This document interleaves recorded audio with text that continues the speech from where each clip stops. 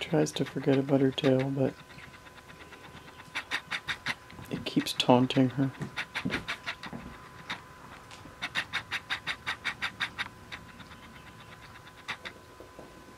It's long enough now. She catches it once in a while, though. Pretty cute.